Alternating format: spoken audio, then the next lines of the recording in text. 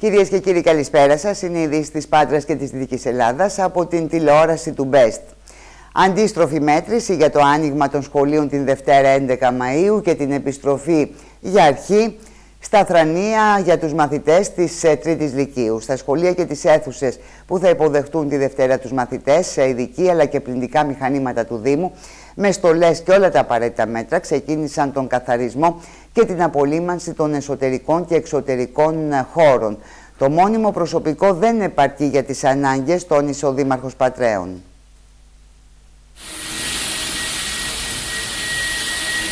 Τα σχολεία ανοίγουν από Δευτέρα για τους μαθητές της Τρίτης Λυκείου και τα συνεργεία του Δήμου προχώρησαν σε απολυμάνσεις των κτηρίων.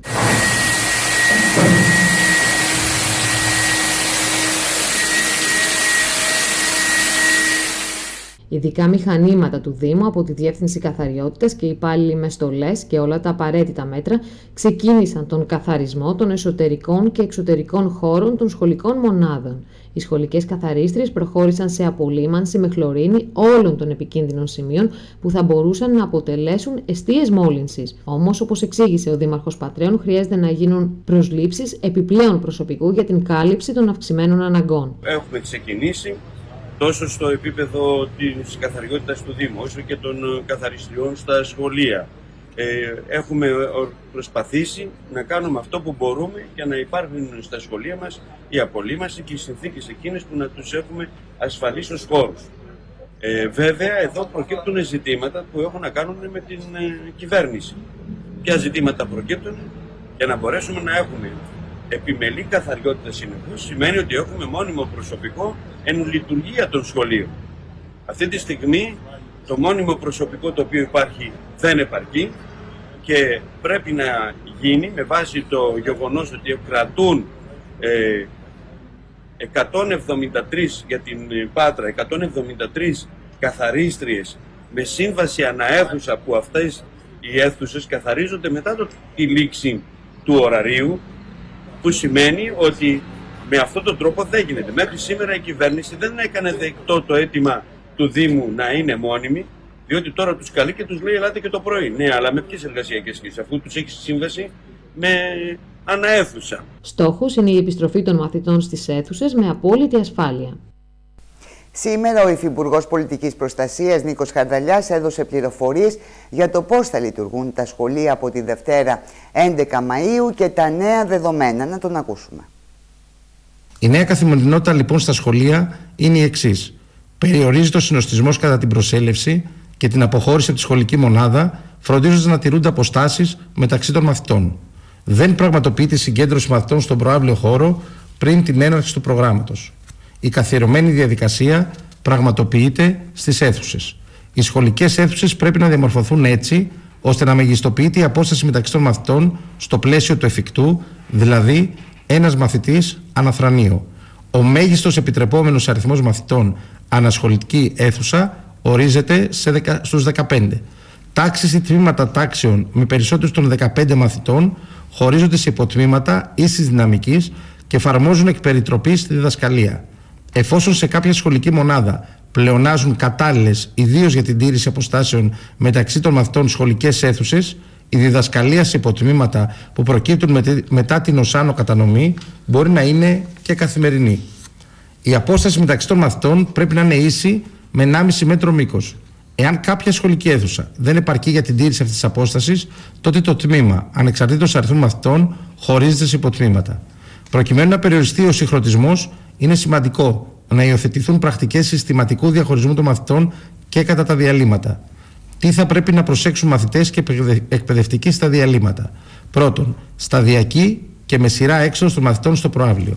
Δεύτερον, διαφορετική χώρη για τους μαθητές κάθε τμήματος στο προάβλιο. Τρίτον, φυσικός αερισμός των αιθουσών στο διάλειμμα. Και τέλος, απαγόρευση παιχνιδιών με μπάλα όπως μπάσκετ, ποδόσφαιρο, βόλεϊ. Επισημαίνεται ότι εκτός από την διαρρύθμιση των σχολικών αιθουσών, σημαντική είναι η αποσυμφόρηση και του γραφείου των εκπαιδευτικών. Όπως είναι γνωστό ότι αναφερθήκαμε και χθες στο δελτίο ειδήσεων της τηλεόρασης του Best, ε, εντυπωσιακές εικόνες. Ε, χθες λοιπόν το απόγευμα στην πλατεία Γεωργίου που γέμισε με 1200 άδειες καρέκλες. Ο κλάδος της εστίασης και στην Πάτρα, συμμετείχε στην πανευρωπαϊκή δράση. Διαμαρτύρονται οι καταστηματάρχες για την κατάσταση που έχει διαμορφωθεί και ζητούν μέτρα για την στήριξη των επιχειρήσεων που θα πρέπει να λειτουργήσουν κάτω από συγκεκριμένους όρους, μειώνοντας δραματικά τα έσοδα. Το αποτέλεσμα να σφίγγει κι άλλο η θηλιά στο λαιμό των ιδιοκτητών που ήδη μετά από δύο μήνες ε, με κλειστά τα καταστήματά τους βλέπουν τα έξοδά τους να μεγενθύνονται και να τους πνίγουν. Από την πλευρά του Δήμου της Πάτρας τονίζεται ότι θα σταθεί η Δημοτική Αρχή στο πλευρό τους με όποιο τρόπο μπορεί. Περισσότερες από χίλιες άδειες καρέκλες τοποθετήθηκαν στην πλατεία Γεωργίου στο πλαίσιο της πρωτότυπης διαμαρτυρίας στην οποία συμμετείχε ο Σύλλογος Καταστηματαρχών Εστίασης και Αναψυχής Αχαΐας. Πάνω από 2.000 επαγγελματίες της εστίασης στην περιοχή με αυτόν τον τρόπο θέλησαν να εκφράσουν την αγωνία τους για το αύριο και το νέο τρόπο λειτουργίας που θα υπάρχει ελαίο κορονοϊού. 1.200 περίπου καρέκλες στην κεντρική πλατεία της πόλης, της Πάτρας, πλατείας Γεωργίου. Αυτό συμβαίνει ταυτόχρονα σε 100 περίπου πόλεις σε όλη την Ελλάδα. Ε, το έχουν οργανώσει, οργανώσει οι αντίστοιχοι σύλλογοι εκεί και ε, το λέμε ε, βουβή φωνή, ε, άδειες καρέκλες και εκείνη στρωμένο ένα τραπέζι, μια ξυπιάτα, τα οποία αντιστοιχούν ε, στις πολιτικές δυνάμεις του τόπου και στην πολιτεία. Και με όλο αυτό θέλουμε να ε, κάνουμε την πολιτεία να γυρίσει και να μας κοιτάξει και δείχνοντάς του ότι, ε, λέγοντάς τους ότι όταν μείνουν αυτές οι καρέκλες άδειες μια ολόκληρη προμηθευτική και συνεργατική αλυσίδα από πίσω μας και χιλιάδες εργαζομένων θα μείνουν χωρίς δουλειά και χωρίς ψωμί αύριο. Σε πολλές καρέκλες ήταν τοποθετημένες πινακίδες με επαγγέλματα του κλάδου που κινδυνεύουν λόγω της ανεργίας, όπως σερβιτόροι, καθαριστές, μπάρμαν και πολλοί άλλοι. Ζητούν μέτρα στήριξης από την κυβέρνηση για να μπορέσουν να λειτουργήσουν τα καταστήματά τους. Ε, να γυρίσει να μας κοιτάξει η πολιτεία. Έχουμε ζητήσει κάποια οικονομικά μέτρα στήριξης για το αύριο. Το αύριο θα είναι χειρότερο ανοίγοντας με τις μισές καρέκλες από ό,τι έχει βαδό το κάθε μαγαζί και ευελπιστούμε, έχουμε και κάποια ελπιδοφόρα μηνύματα τις τελευταίες δύο μέρες ότι κάτι θα μας δώσουν, κάτι θα κερδίσουν, θα κερδίσουμε για να μπορέσουμε να ξανασταθούμε στα πόδια μας και εμείς και οι οικογένειες των εργαζομένων μας. Στο μεταξύ ο Δήμαρχος Πατρέων τόνισε πως θα σταθεί ο Δήμος στο πλευρό των επαγγελματιών που πλήττονται. Εμείς ε, δίπλα στους εργαζόμενους, στους αυτοαπασχολούμενους στον χώρο της εστίασης θα συνεχίσουμε να είμαστε δίπλα τους όπως ήμασταν και στο παρελθόν σε στενή συνεργασία γιατί αγωνίζονται για την επιβίωση και θέλουμε να τους βοηθήσουμε. Πήραμε μία σειρά μέτρων για αυτή την περίοδο. Υπάρχουν και νέα αιτήματα τα οποία ε, συζητούνται και θέλ, ε, είμαστε σε θέση να το συζητήσουμε μαζί τους για να μπορέσουν να, επειδή λόγω των μέτρων που παίρνονται να μην είμαστε ο ένας δίπλα στον άλλον, ζητούν να υπάρχει μια μεγαλύτερη απόσταση. Συμφωνούμε σε αυτό το κομμάτι, να δούμε όμως κατά περίπτωση πώς αυτό θα υλοποιηθεί πορεία προς μια νέα οικονομική κρίση, βαθύτερη από αυτή που περάσαμε την προηγούμενη δεκαετία των μνημονίων, έχει χαρακτήρι για τις μικρομεσαίες επιχειρήσεις, αφού πολλές αναγκάστηκαν να στείλουν τις εργασίες τους, ενώ στο σύνολό τους ο τζίρος τους μειώθηκε δραματικά. Αυτό είναι το συμπέρασμα που προκύπτει από τις τοποθετήσεις των μελών του Διοικητικού Συμβουλίου της ΟΕΒΕΣΝΑ που συνεδρίασε χθες για να αξιολογήσει την κατάσταση από την καραντίνα λόγω της πανδημίας του κορονοϊού. Σωτήρη Παπανδρέου, καλησπέρα. καλησπέρα. Έχει το ρεπορτάζ ε, δυσίωνο λοιπόν και ζωφερό το μέλλον για τις ε, επιχειρήσεις. Ναι, δεν είναι απλές οι διαπιστώσεις, είναι συμπεράσματα που βγαίνουν μέσα από μελέτες και έρευνες, τις οποίες θα αναφέρουμε λίγο παρακάτω. Ε, όσον αφορά τις συνεδρίες του Διοικητικού Συμβουλίου της ΟΕΒΕΣΝΑ, της Ομοσπονδίας δηλαδή που εκπροσωπεί όλες τις μικρομεσαίες ε, εμπορικές επιχειρήσεις και επαγγελματίες, αλλά και άλλες και ε, βιοτεχνικές επιχειρήσεις, ε, έχουν επισημανθεί, επισημάνθηκαν μάλλον στο Διοικητικό Συμβούλιο ε, όλες αυτές οι προβλέψεις για την επόμενη μέρα της ε, καραντίνας του κορονοϊού. Και τι είναι αυτές οι προβλέψεις, ε, συσσόρευση παγίων εξόδων για τις επιχειρήσεις και αδυναμία να πληρωθούν αυτά τα έξοδα, ε, υποχρεώσεις αναφορικά με τους εργαζόμενους που απασχολούν και φυσικά όλα αυτά ε, οδηγούν σε ένα δρόμο που είναι η αύξηση της ανεργίας και σε, στο, λοκέτο, στο μόνιμο λοκέτο για πάρα πολλές επιχειρήσεις. Ενδεικτικά να πούμε, την προηγούμενη εβδομάδα ΕΦΗ είχε δημοσιευθεί μια μελέτη του ε, Ινστιτούτου Μελετών της ΓΕΣΕΒΕ ε, μία στις 7 επιχειρήσεις, περίπου 100.000 πανελλαδικά, ενδέχεται ναι. να κλείσουν οριστικά και να μην επαναλειτουργήσουν μετά την άρση των, ε, υποχρεωτικών, ε, του υποχρεωτικού λουκέτου που είχε μπει λόγω του κορονοϊού όλο αυτό το διάστημα. Μένει όλο αυτό βέβαια να το δούμε στην πράξη αν θα αποδειχθεί και δεν ε, θα περιμένουμε και πολύ καιρό μπροστά μας. Την ερχόμενη Δευτέρα. Τη Δευτέρα και θα, δούμε θα, τι θα γίνει. Θα δει την πρώτη εικόνα. αν, το σκηνικό. αν και το σκηνικό θα διαμορφωθεί λίγο αργότερα, εκτιμάται από πάρα πολλούς παράγοντες, γιατί ε, πολλές επιχειρήσει θα σπεύσουν να ανοίξουν, αλλά όλο αυτό το βουνό με τις υποχρεώσεις και τα έξοδα να θυμίσουμε, Σωτήρη, ότι μας έλεγε και ο πρόεδρος του Εμπορικού Συλλόγου της ε, Πάτρας ε, τις ε, προηγούμενες ημέρες ότι αρκετά μαγαζιά που λειτουργούσαν προ-κορονοϊού τώρα όχι μόνο δεν θα ανοίξουν, αλλά ήδη έχουν μπει ενοικιαστήρια ναι. στα, στα καταστήματα. Υπάρχει αυτή η εικόνα, ε, διαπιστώνεται στο κέντρο της Πάτρας αλλά και σε συνοικίες, περισσότερο προς τα έξω από το κέντρο, εκεί δηλαδή που δεν υπάρχει έντονη εμπορική δραστηριότητα και όπως καταλαβαίνεις ε, αυτές οι περιοχές, αυτές οι επιχειρήσεις που βρίσκονται σε αυτές τις περιοχές είναι περισσότερο εκτεθειμένες σε αυτούς τους κινδύνους. Να πούμε μόνο ενδεικτικά, Έφη, ότι σήμερα παρουσιάστηκε και το δεύτερο μέρος της μελέτης της ΓΕΣΕΒΕ που έχει, ε, έχει ε, εκπονηθεί σε συνεργασία με την εταιρεία Mark. Ε, ποια είναι τα συμπεράσματα που βγαίνουν από αυτή τη ε, μελέτη; 8 στις 10 επιχειρήσεις που ανέστηλαν μερικώς ή πλήρως τη δραστηριότητά τους προχώρησαν και σε αναστολή συμβάσεων εργασίας για το προσωπικό τους. Μιλάμε για χιλιάδες, εκατοντάδες χιλιάδες εργαζομένους. Μία στις οχτώ επιχειρήσεις υιοθέτησαν καθεστώς τηλεργασίας για το προσωπικό τους, γεγονός που δείχνει ότι μάλλον ήταν απροετοίμαστες οι ελληνικές επιχειρήσεις, οι μικρομεσαίες, για να περάσουν σε αυτό το περιβάλλον εργασίας και λειτουργίας. Δύο στις δέκα επιχειρήσεις που δεν ανέστηλαν τη λειτουργία τους μείωσαν το προσωπικό τους, ενώ μόλις 3 στις 100 επιχειρήσεις προχώρησαν σε ε, κάποιες προσλήψεις αμυδρό το, το νούμερο αυτό και πάρα πολύ μικρό που δεν ε, προ, Άρα, λοιπόν, να εξισορροπήσεις τις απώλειες. Σίγουρα και, ε, ναι. αύξηση ναι. της ε, ανεργίας και δεν, ε, και δεν έχουμε υπολογίσει ακόμη τους ε, επαγγελματίες, τους εργαζόμενους στον ε, τομέα του τουρισμού. Βεβαίως. Εκεί μιλάμε για ένα ξεχωριστό τομέα, έναν άλλο κλάδο, όπου ο αριθμός των εργαζομένων είναι μεν εποχική, αλλά σίγουρα συμβάλλουν σε πάρα πολύ μεγάλο βαθμό στην ε, διαμόρφωση του ποσοστού της ανεργίας, το οποίο σύμφωνα με ε, αρμόδιους παράγοντες ε, φέτος μάλλον θα ξεπεράσει το 20%. Ε, εκεί που βλέπαμε μία αποκλιμάκωση του, του ποσοστού της ανεργίας τα τελευταία χρόνια έχει φτάσει περίπου στο 13%. Ε, οπότε βλέπουμε μια, θα δούμε μια εκτείναξη πολύ σύντομα. Να πούμε ότι σε σχέση με τις εμπορικές επιχειρήσεις και τις ε, μικρομεσαίες, ε, αυτό που αναδεικνύεται μέσα από αυτές τις ε, μελέτες είναι το ζήτημα της έλλειψης ρευστότητας. Ε, ένα από τα πολλά ζητήματα βέβαια που έχουν τεθεί από τους ε, επαγγελματικούς φορείς που εκπροσωπούν αυτό το κλάδο της επιχειρηματικής ε, λειτουργίας της χώρας μας. Το ζήτημα της ε, επαναλειτουργίας τους ε, έχει τεθεί πάρα πολλές φορές από τους αρμόδιους φορείς και της ε, ε, έγκρισης ενός κονδυλίου που θα λειτουργήσει ως κεφάλαιο επανεκκίνησης είναι σημαντικό, είναι κομβικής σημασίας και έχει τεθεί από όλους τους εμπορικούς συλλόγους αλλά μέχρι στιγμή δεν έχουμε δει κάτι πέρα από τι αποφάσει τη κυβέρνηση που οδηγούν όμω σε, ένα, ε, σε, σε ένα δρόμο δανεισμού από τι τράπεζε και δανεισμό ο οποίο, όπω ξέρει πολύ καλά και καταλαβαίνει, Έφη, δεν είναι πάντα σίγουρο για όλε τι επιχειρήσει. Η επιστρεπτέα προκαταβολή ε, δεν έχει προτιμηθεί από ό,τι φαίνεται από την πλειοψηφία των επιχειρήσεων.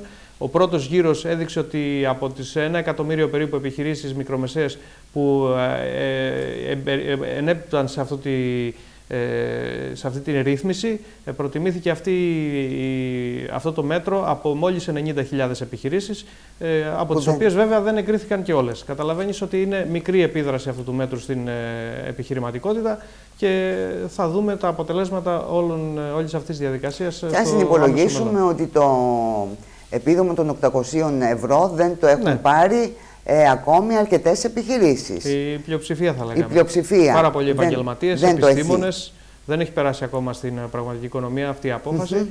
Και είναι και αυτό ένας παράγοντας που Άρα λοιπόν, στο, την στο σημείο που βρισκόμαστε, Σωτήρη, αυτό που κάνουμε είναι να καταγράφουμε τα προβλήματα, να εκτιμάμε ε, το, το μέλλον ε, με αρνητικό πρόσημο ε, και μέχρι εκεί. Λύσεις ε, δεν βλέπουμε. Ε, θα το δούμε σε, σε πρακτικό επίπεδο. Έτσι. Σε νομοθετικό έχουν ληφθεί κάποια πράγματα. Ε, θα δούμε όμως ε, στην αγορά πώς ε, μεταφράζονται Α... όλες αυτές Αυτό. οι παρεμβάσεις της κυβέρνησης. Έτσι. Ακόμα είναι νωρίς. Ε, θα χρειαστεί, πιστεύουμε, ένα χρονικό διάστημα, τουλάχιστον μέχρι το καλοκαίρι, για να δούμε πώς αποτυπώνονται στην αγορά ε, αυτά τα μέτρα που έχουν ήδη αποφασιστεί. Και σύμφωνα πάντα με παράγοντες της επιχειρηματικότητας, δεν αρκούν. Δεν, δεν, αρκούν και δεν ε, λύνουν ε, πραγματικά προβλήματα. Θα τα πούμε και στη συνέχεια. Σωτήρη, σειρά επαφών είχε σήμερα στην Πάτρα ο πρώην Πρωθυπουργός ε, και Βουλευτής Αχαία Γιώργος Παπανδρέου, πρώτος σταθμός Το Πανεπιστημιακό Νοσοκομείο της Πάτρας είχε συνάντηση με την διοικήτρια και τον ε, καθηγητή λοιμοξιολόγο Χαράλο Μπογόγο. Ο κύριος Παπανδρέου εξέφρασε την ικανοποίησή του για την άριστη συνεργασία μεταξύ υγειονομικών και πολιτείας για την αντιμετώπιση της πανδημίας παράλληλα. Τόνισε την ανάγκη που υπάρχει για περαιτέρω στήριξη του Εθνικού Συστήματος Υγείας.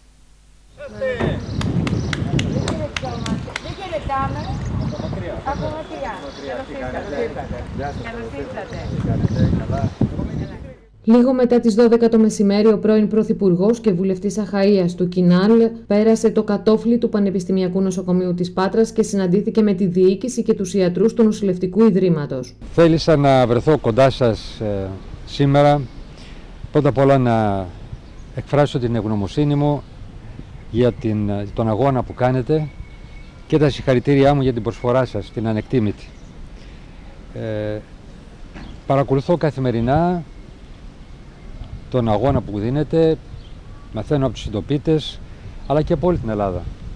Πόσο ε, μεγάλη είναι η προσφορά του προσωπικού στα νοσοκομεία, στα ιατρία και νομίζω είμαστε εγώ προσωπικά περήφανος, όλοι οι Έλληνες και Ελληνίδες περήφανοι για την, ε, ε, αυτό που έχετε διδάξει, θα έλεγα, την προσφορά σας, την ηρωική για την αντιμετώπιση της πανδημίας. Ένας ακόμα λόγος που βρίσκομαι εδώ είναι για να ε, δηλώσω την αποφασιστικότητά μου να στηρίξω το δημόσιο σύστημα υγείας. Φάνηκε από αυτή την πανδημία με γλαφυρό τρόπο πόσο σημαντική είναι η δημόσια, οι δημόσιες δομές υγείας και αυτό πρέπει να είναι μάθημα για όλους, ε, να στηρίξουμε, να ενισχύσουμε, να βοηθήσουμε ε, το δημόσιο σύστημα υγείας. Ε, και βέβαια είμαι σίγουρος ότι με την καλή μας εργασία και θα την έχουμε, θα μπορέσουμε να συμβάλλουμε στην επίτευξη αυτού του στόχου. Ο πρώην Πρωθυπουργός μίλησε για αρκετή ώρα με τους ιατρούς που βρίσκονται στην πρώτη γραμμή της μάχης ενάντια στον κορονοϊό και εξήρε το έργο τους. Να τονίσω την αποφασιστικότητα τη δικιά μου να στηρίξω την ε, δημόσια υγεία, το δημόσιο σύστημα υγείας και βέβαια τους ανθρώπους του και γι' αυτό ακριβώς ε, εύχομαι ότι θα έχουμε πολύ καλή συνεργασία για αυτό το μεγάλο στόχο για την αναβάθμιση, την ενίσχυση του δημοσίου συστήματος υγείας που με τόσο γλαφυρό τρόπο ε, η πανδημία ανέδειξε πόσο σημαντική είναι αυτή η δομή, αυτή, αυτές οι υποδομές και αυτό το ανθρώπινο δυναμικό όχι μόνο βέβαια για τις πανδημίες αλλά γενικότερα για την υγεία και την ασφάλεια των Ελλήνων των πολιτών. Και από την πλευρά των γιατρών τονίστηκε ότι υπάρχει άριστη συνεργασία με την πολιτεία για την αντιμετώπιση της πανδημίας. Χαρά και τιμή ταυτόχρονα το να υπάρχουν αντίστοιχες εμβέλειες πολιτικά πρόσωπα τα οποία μας επισκέπτονται όπως ο πρόεδρος αυτή τη στιγμή στο δύσκολη στο νοσοκομείο ε, η προσπάθεια η οποία έχει γίνει είναι πολύ ωραίο να ακούς ε, ένα ευχαριστώ ε, που σημαίνει ότι ε, υπάρχει ανταπόκριση και επιβράβευση αυτού που έχει κάνει το νοσοκομείο όλο αυτό το διάστημα. Θα θέλαμε να σας τονίσουμε ότι η ύπαρξη ανθρώπων εκπροσώπων του λαού μέσα σε μια κοινή συμφωνία σύμπραξης προς μια κατεύθυνση η οποία είναι για την αντιμετώπιση μιας δύσκολης στιγμής για τον τόπο είναι για μας το καλύτερο που έχουμε δει και μας βοηθάει πάρα πολύ στο έργο μας. Ευχόμαστε ότι αυτό το πράγμα θα συνεχιστεί γιατί όντως το δημόσιο σύστημα υγείας έχει ανάγκη από πράγματα και θέλει τη συμπαράσταση όλων εκείνων που αγωνίζονται για ένα δημόσιο καλό. Οφείλω να πω ότι ήταν μια πολύ ενδιαφέρουσα συνάντηση και πάρα πολύ παραγωγική και χρήσιμη ανταλλάχθηκαν απόψεις, δεν ήταν μια τυπική συνάντηση, πρέπει να το πω αυτό. Ανταλλάχθηκαν πολλές απόψεις και νομίζω ότι βοήθησε αρκετά και η ευρωπαϊκή εμπειρία που έχει ο κ. Πρόεδρος ε, με τα διάφορα φόρουμ που συμμετέχει και με την εμπειρία τόσων χρόνων. Γιατί όπως γνωρίζετε, η πανδημία αυτή δεν είναι ελληνικό πρόβλημα, είναι ευρωπαϊκό πρόβλημα και έχει μεγάλη σημασία η συνεργασία όλων των χωρών. Επίσης, επί τη ευκαιρία, να πω ότι η επιτυχία αυτή της ε, προσπάθειας στην Ελλάδα έχει εν να κάνει με την άριστη συνεργασία που υπήρξε μεταξύ των υγειονομικών που πρωτοστάτησαν, μου επιτρέπετε να το πω αυτό, αλλά και του πολιτικού συστήματος που συνεργάστηκε άψογα και των πολιτών. Και επί τη ευκαιρία θα ήθελα να παρακαλέσω και τον κύριο Πρόεδρο, αλλά οποιοδήποτε πολιτικούς συζητάμε μαζί τους, να συνεχίσει αυτή η συνεργασία, γιατί αυτό θα είναι και το θεμέλιο για να πάμε καλά μέχρι το τέλος. Οι επισκέψεις του Γιώργου Παπανδρέου συνεχίστηκαν σε περιφέρεια Δυτικής Ελλάδος, ο Ευέσνα και άλλους φορείς. Στην αναμονή βρίσκονται τώρα οι πρώτοι τέσσερις ε, αποθεραπευθέντες από κορονοϊό στην ε, περιοχή μας προκειμένου να προσφέρουν πλάσμα για τη μελλοντική χορήγησή του σε σοβαρά πάσχοντες από τον ιό το Πανεπιστημιακό Νοσοκομείο της Πάτρας με επικεφαλή στον ε, Χαράλα Μπογόγο. Είναι ανάμεσα στα έξι νοσοκομεία της χώρας που συμμετέχουν στην ε, συγκεκριμένη μελέτη. Να καλησπερίσω την Ελένη Παρασκευοπούλου. Ε, καλησπέρα Ελένη. Σε καλό δρόμο λοιπόν η συλλογή πλάσματος. Καλησπέρα ευχή κυρίες και κύριοι. Ναι, φαίνεται πως ε, η συγκεκριμένη διαδικασία που ακολουθείτε είναι σε καλό δρόμο. Ε, οι τέσσερις ασθενείς, ε, όπως ανέφερες, ε, περιμένουν, έχουν αποθεραπευτεί άνθρωποι και περιμένουν για να δώσουν πλάσμα. Είναι μια διαδικασία που θα γίνει σε έξι νοσοκομεία της χώρας που συμμετέχουν στην συγκεκριμένη μελέτη, όπως καταλαβαίνουμε όλοι. Ε, μέσα στο επόμενο διάστημα αναμένεται να δώσουν πλάσμα, να εξηγήσουμε τι ακριβώς συμβαίνει και τι ακριβώς ε, θα γίνεται. Ε, το συγκεκριμένο υλικό που θα πάρουν οι ειδικοί θα χορηγείται, προβλέπεται να χορηγείται σε ανθρώπους που θα νοσήσουν από COVID-19 και θα είναι σε σοβαρή κατάσταση. Έτσι το υλικό που θα παίρνουν από τους ανθρώπους που αποθεραπεύτηκε θα χορηγείται σε αυτούς έτσι ώστε να φέρει ε, τα, τα, τα, καλύτερα δυνατά αποτελέσματα. Το πλάσμα τώρα, ε, αυτό το υλικό θα συγκεντρώνεται ε, και θα μπαίνει στο ψυγείο μέχρι ότου χρειαστεί να χορηγηθεί σε κάποιον. Εμείς απευχόμαστε να χρειαστεί να χορηγηθεί, ε, γιατί καταλαβαίνουμε ότι ε, για να χρειαστεί να χορηγηθεί θα έχουμε ασθενείς οι οποίοι θα νοσούν βαριά από τον COVID-19. Ε, καλά λοιπόν, ε, αυτά θετικά, αυτά τα θετικές αυτές οι ειδήσεις, έστω και αν ε, απευχόμαστε να χορηγηθεί, ωστόσο ας έχουμε συλλέξει το πλάσμα και ας μην χρειαστεί. Σε άλλο θέμα... Είναι, είναι και αυτό μέσα σε όλη την ιατρική εξέλιξη που υπάρχει γύρω από τον ε, COVID-19. Γίνονται πάρα πολλές προσπάθειες ανά τον πλανήτη, από φάρμακα, εμβόλια, μέχρι και αυτή τη διαδικασία. Οπότε είναι μια μάχη που συνεχίζεται για τους ε, επιστήμονες, έφη κυρίες Για όλους μας συνεχίζεται η μάχη. Ναι, Ελένη, πιο πολύ βέβαια για τους... Ε, γιατρούς που συνεχίζουν να βρίσκονται στην πρώτη γραμμή αυτής της μάχης. Να αλλάξουμε τώρα όμως θέμα κλίμα να πάμε στην Δυτική Αχαΐα, στην ε, περιοχή των Σαγεΐκων, όπου χθες είχαμε ματηρό επεισόδιο μεταξύ ε, Ρωμάς, στον καταβλισμό που υπάρχει εκεί. Έχουμε μία σύλληψη για την απόπειρα ανθρωποκτονίας και αναζητούνται ακόμη δύο άτομα. Ναι, ε, έχουμε, είχαμε το σοβαρό, όπως είπες, περιστατικό στα Σαγέικα, στον καταβλισμό των Ρωμά. Ε, να πούμε ότι έχουμε μία σύλληψη δύο ακόμη άνδρες οι οποίοι αναζητούνται. Να θυμίσουμε λίγο τι ακριβώς είχε γίνει. Υπήρξε ένας διαπληκτισμός λοιπόν. Ο δράστης αρχικά επιτέθηκε προς τα άτομα με μπαλντά. Ήταν ακόμη ένα άτομο τον οποίο τον προέτρεψε να πυροβολήσει. Το άλλο άτομο πήρε την καραμπίνα, τη γέμισε με φυσίγια και εν τέλει την έδωσε Μάλιστα. στο δράστη, ο οποίος ναι. πυροβόλησε κατά των ατόμων, τραυματίζοντας οκτώ συνολικά άτομα, τέσσερις γυναίκες και τέσσερις άντρε. Ε, μιλάμε για ένα πάρα πολύ σοβαρό περιστατικό έφη, κυρίες και κύριοι. Φαίνεται όμως ότι δεν ξεκίνησαν όλα αυτά χθες. σω ε, το όλο θέμα έχει σύνδεση με παλαιότερες διαφορές. Είναι αυτά που εξετάζει η αστυνομία. Ο άντρας, να πούμε, ο άντρας που συνελήφθη, ε, να πούμε ότι οδηγήθηκε σήμερα στον εισαγγελέα. Κρατείται για να οδηγηθεί στον ανακριτή είτε αύριο είτε την Δευτέρα. Είναι κάτι που θα αποφασιστεί. Και από εκεί και πέρα συνεχίζουν οι έρευνες με στόχο να εντοπίσουν φυσικά και τα άλλα δύο εμπλεκόμενα άτομα. Να σε ευχαριστήσω Ελένη για τα ρεπορτάζ, καλή συνέχεια και πάμε να δούμε τώρα κυρίες και κύριοι τι γίνεται με την ε, ε διέλευση του τρένου από την ε, Πάτρα, με την υπογειοποίηση. Είχαμε την, ε, πριν από μερικές ημέρες την επιστολή του κυρίου Σπίρτζη που καλεί τη Νέα Δημοκρατία να σταματήσει να λέει ψέματα καθώς υπάρχουν οι μελέτες. Ε, σήμερα είχαμε την απάντηση της Εργοσέ ε, που λέει ότι ο μέχρι τώρα σχεδιασμός για την υπογείοποίηση της γραμμής από το Ρίο μέχρι την Πάτρα Σωτήρια αφορούσε αποκλειστικά και μόνο προμελέτες. Ναι, φαίνεται ότι έχουμε μια πολιτική αντιπαράθεση δύο αντιπροσώπων ε, με αφορμή και την επιστολή του κυρίου Σπίρτζη. Ε, προφάνως ο κύριος Σπίρτζης απευθυνόταν στον Υπουργό, στον κύριο Καραμαλή. Σήμερα είδαμε ότι απάντησε η Εργοσέ Ε, και στην ουσία αναφέρει ότι οι αιτιάσεις που παρουσιάζει ο κύριος Σπίρτσης ε, δεν επαρκούν. Δηλαδή Μάλιστα. οι προμελέτες που είχαν ξεκινήσει, που είχαν εκπονηθεί δεν επαρκούν για την υλοποίηση του έργου. Συγκεκριμένα ε, κάνει λόγο για μια εντελώς διαφορετική πραγματικότητα. Ε, η προηγούμενη ηγεσία του Υπουργείου Υποδομών Μεταφορών ισχυρίζεται ότι επιμερών της το έργο είχε δρομολογηθεί, αναφέρει η διοίκηση της ΕΡΓΟΣΕ.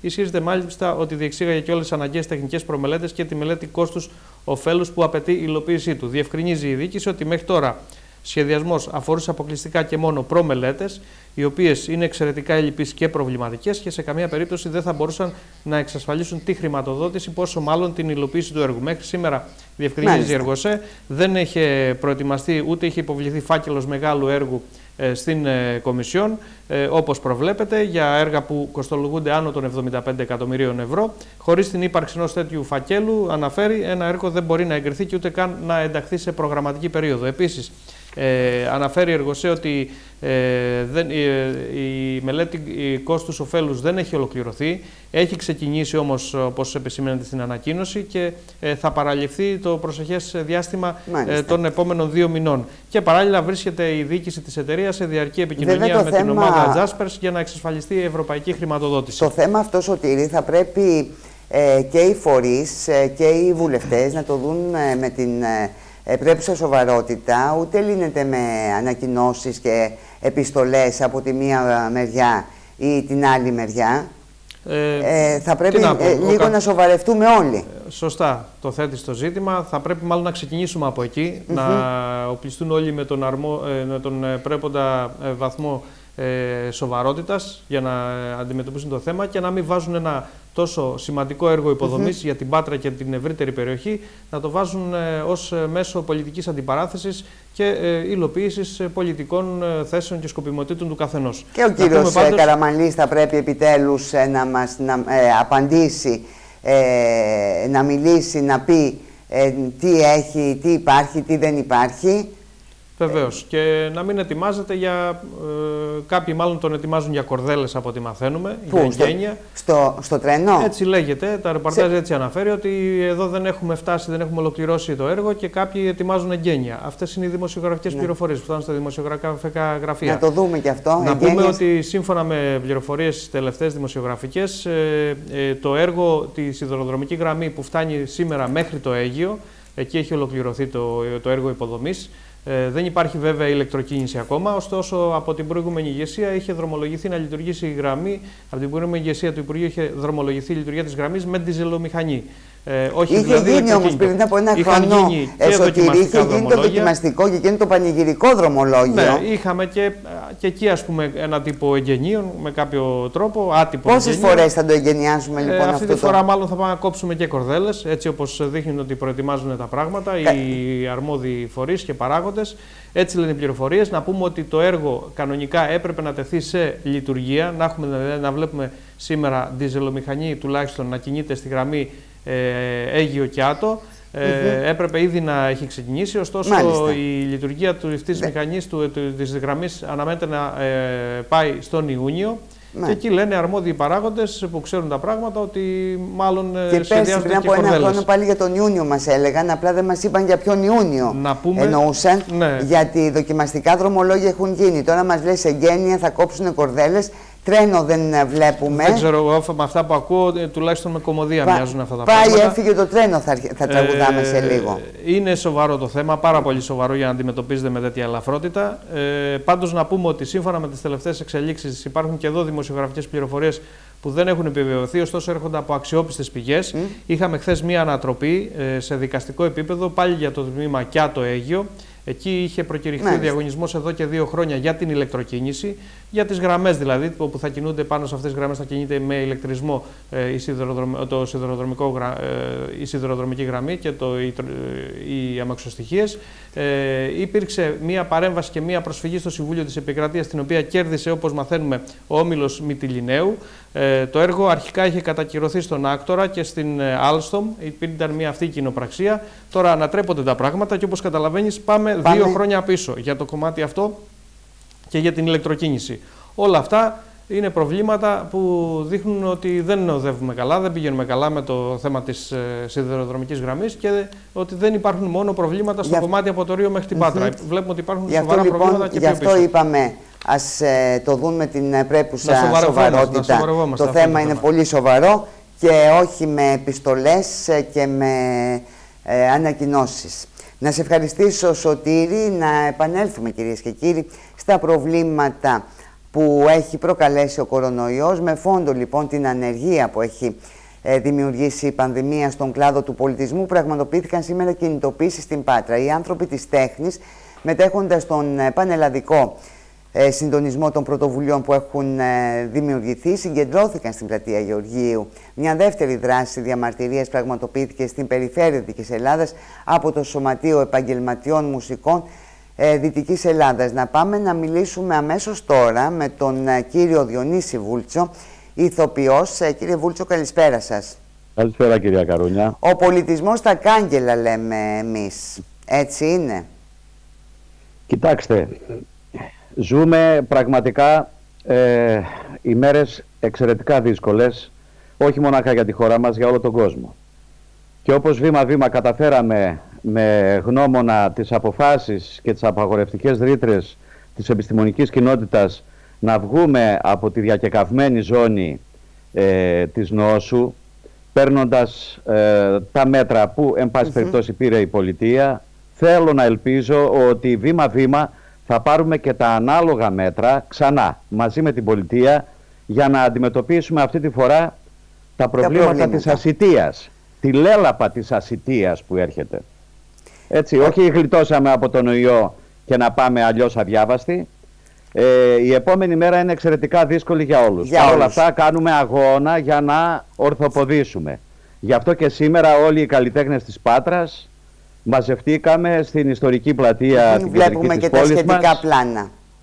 Ε, δώσαμε με μια δράση η οποία ε, αν θέλετε δρομολογήθηκε μέσα από την κοινωνική πλατφόρμα μιας ιστοσελίδας συναδέλφων καλλιτεχνών ε, από την Αθήνα που ξεκίνησε προ λίγων μόλις ημερών και παρόλα αυτά έτυχε μεγάλης ανταπόκρισης ανά το Πανελλήνιο και ε, η παρουσία μας καταδηλεί όχι την επαιτία αλλά την απέτηση προς την πολιτεία να μας δει σαν εργάτες της ζωής, σαν εργάτες οι οποίοι δικαιούμαστε να έχουμε τους χώρους εργασίας μας ανοιχτούς για να δρέψουμε όχι μονάχα ίδιους καρπούς, να κάνουμε αυτό για το οποίο είμαστε εντεταλμένοι. Να υπηρετήσουμε το λαό μας με βάση την τέχνη με, μας. Μέσω της Έτσι. τέχνης, βεβαίως. Και Γιατί καλλιτέχνης, κοινωνία... κυρία Καρούνια, καλλιτέχνης είναι ο καθένας. Σήμερα βγήκαμε στον δρόμο εμείς. Αύριο θα βγει όποιος επαγγελματικός κλάδος. Θα είμαστε δίπλα του, θα είμαστε κοντά του καλλιτέχνης και κακοτέχνης γιατί ακούγονται και πάρα πολλά τα οποία σπεκουλάρουν το χώρο μας και τον λερώνουν. Είδαμε κάτι ελεηνά δημοσιεύματα, δεν θέλω να πω το φίλο ε, στο οποίο αναρτήθηκαν που μιλούσαν αν είναι δυνατόν για τη, για τη φυλή λέει των ε, γραμμάτων και των τεχνών. Σαν να είμαστε τίποτε αγρίκοι οι οποίοι αυτή τη στιγμή τι κάνουμε; Μια κοινωνία ουσιαστικά στην πολιτεία και πάμε να μια έτσι, το, το, το υπογάστριό της από την πείνα μας. Αν δεν είναι έτσι. Μια κοινωνία Ο... χωρίς τέχνη, κύριε Βούλτσο, είναι μια καταδικασμένη κοινωνία. Όπως χωρίς ε... δρόμους, χωρίς ρεύμα, χωρίς παιδεία, χωρίς νοσοκομεία, χωρίς τα πάντα. Εγώ... Δεν ξεχωρίζουμε τους εαυτούς μας από τους άλλους εργάτες της ζωής. Απλά θέλουμε κι εμείς αυτό που μας αναλογεί. Τι, Σήμερα να έχουμε όμως. Κα... ανοιχτούς, κυρία Καρούνια; Σήμερα, Σήμερα είχαμε κάποιες ανακοινώσεις θα ανοίξουν ε, κάποιοι χώροι υπό προποθέσει και έτσι καταφέραμε κάποια πράγματα. Όμως σήμερα κιόλας σκεφτόμαστε την επόμενη μέρα. Και η επόμενη μέρα είναι να καταλάβει το Υπουργείο, συνολικότερα η κυβέρνηση, ότι αυτή τη στιγμή δεν μπορούμε με πυροσβεστικές οικονομίστικες διορθώσεις να τελειώνουμε με έναν ολόκληρο κλάδο. Ακούστε τις παραδοξότητες που τρέχουν. Αν είναι δυνατόν. Λένε λοιπόν ότι ο κόσμος, ο απλός πολίτης, σιγά σιγά μπορεί να ξεφοβείται, να βγει στον χώρο, να βγει στον κόσμο, να βγει στην κοινωνική και καλλιτεχνική δραστηριότητα και να πάει να δει το σινεμαδάκι του το θερινό. Έτσι, κατά την 1η του Ιουνίου. Αλλά αν θέλει να δει λέει θέατρο θα πάει στις 15 Ιουλίου. Δεν ξέρω πώς το σκέφτονται οι θύνοντες εκεί στα καλλιτεχνικά χρηματιστήρια των Αθηνών και βγάζουν τέτοιας λογής αποφάσεις ε, και σκέψεις. Αλλά αυτός ο 1,5 μήνας πώς έχει προϋπολογιστεί; Ότι κανείς από το καλλιτεχνικό δυναμικό δεν έχει ήδη προετοιμαστεί και πρέπει να περιμένει 1,5 μήνα για να του δοθεί το πράσινο φως να βγει στην αγορά και να αποδώσει τους καλλιτεχνικούς καρπούς του. Εγώ σας καταδηλώνω λοιπόν, επειδή είμαι συνάδελφος με τον Γεράσιμο τον Τάβαρη που έχει την καλλιτεχνική διεύθυνση του χώρου μηχανουργείο, είμαστε ήδη έτοιμοι με το μικρό πρίγκιπα και θέλουμε να κάνουμε περιοδία ανά την Ελλάδα. Γιατί δεν μας δίνει εδώ και τώρα το πράσινο φως η κυβέρνηση με τα μέτρα τα οποία παίρνει να κάνουμε εμείς αυτό το οποίο πρέπει, δηλαδή να στηρίξουμε άμεσα τον εαυτό μας και τις οικογένειές μας σαν βιοπαλαιστές, να δώσουμε το καλλιτεχνικό μας προϊόν στον κόσμο που σαφώς έχει ανάγκη για κάτι τέτοιο και να σιγά σιγά να ξαναθαρέψουμε να μπούμε στη ζωή. Η λογική του σημειωτών ενδεχομένως κυρία Καρούνια να έχει και μία άλλη ματιά, μία άλλη ανάγνωση. Ότι κάποιοι ενδεχομένως οι μέτεροι να τους χαρακτηρίσω. Γιατί όχι. Θέλουν τώρα να προετοιμαστούν, άρα εμείς σας κάνουμε σημειωτών να βγουν οι μέτεροι κατά τις 15 Ιουλίου, να πιάσουν απλά σας το λέω, λαϊκά, όλες τις πιάτσες και εμείς θα δούμε αν θα έχει μείνει τίποτα για αποφάγια. Αυτό λέτε ότι ισχύει. την κουβέντα. Αυτό λέτε ότι ισχύει ή επειδή... Συγγνώμη, ε, μα αναγκάζομαι όταν, όταν η παραδοξότητα της απόστασης, εάν ο πολίτης μπορεί να βγει να παρακολουθήσει το θερινό κινηματογράφο, γιατί να μην μπορεί από 1η Ιουνίου να παρακολουθήσει και μια θερινή παράσταση σε υπαίθριο χώρο. Εννοείται πάντα με, με όλους τους οικονομικούς με... κανόνες, Βεβαίως. τους εντεταλμένους από τους επιστήμονες. Γιατί αυτή η απόσταση του 1,5 μήνα; 1,5 μήνα διαφορά κυρία Καρούνια, εμείς ουσιαστικά χρεοκοπούμε. Και μιλάω κυρίως και για τα μικρά σχήματα, που εν πάση περιπτώσει η πόλη μας δεν έχει και τίποτα μεγάλο. Θα καταθέσετε ως λοιπόν... έτοιμα την ε, έναρξη των ε, εκδηλώσεων πιο νωρίς, ε, κύριε Βούλτσο; Αυτό σας λέω, μα ήδη σας το καταδηλώνω και θεωρώ και μόνο και μόνο η συζήτησή μας ότι είναι ένα βήμα προς την κοινωνία, προς τους ε, αρμόδιους και αριστογείτονες οι οποίοι ελπίζω να στήσουν βίκο νους και να ακούσουν αυτά τα οποία πρέπει να ακούνε. Γιατί αυτές τις μέρες το τι δεν ακούνε τα αυτάκια μας. Έχουν εκπλαγεί στα Υπουργεία παντού σαν να ανακάλυψαν, τι να σας πω, ε, τι να ανακάλυψαν, ότι ο χώρος ο καλλιτεχνικός είναι αγιογράφητος, ότι δεν υπάρχει μητρό καλλιτεχνών, ότι υπάρχει μια αδήλωτη εργασία, δεν τα ήξεραν. Μα είναι δυνατόν που δεν τα ήξεραν αφού συγκεκριμένα χρόνια επί χρόνια ο τρόπος με τον οποίο δίνονται οι επιχορηγήσεις, ο τρόπος με τον οποίο προωθούνται κάποια συγκεκριμένα καλλιτεχνικά κυκλώματα και αφήνονται κάποιοι no-name καλλιτέχνες στην άκρη, είναι γεγονός ότι έχει στηθεί με πλήρη γνώση των ηθινόντων. Μην κάνουμε λοιπόν ότι δεν καταλαβαίνουμε και παίρνουμε το μισοκακομύρικο ότι α τώρα μπορεί ναι, να βοηθήσουμε και τους καλλιτέχνες. Όχι αγαπητοί μου, δεν θα σωθούμε με το 800 να μας δοθούν οι χώροι εργασίας και εμείς ξέρουμε πώς θα κάνουμε τη δουλειά μας. Μάλιστα. Είστε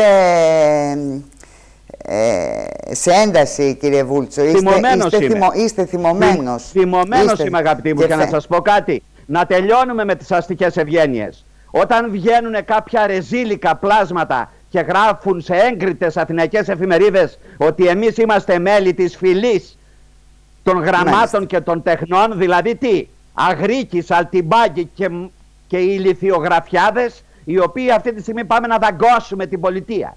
Τι είμαστε δηλαδή οι ρεζίλιδες που αντί πινακίου φακής θα το βουλώσουμε. Όχι, δεν θα το βουλώσουμε. Θα μας βρίσκουν κάθε μέρα μπροστά τους από εδώ και πέρα.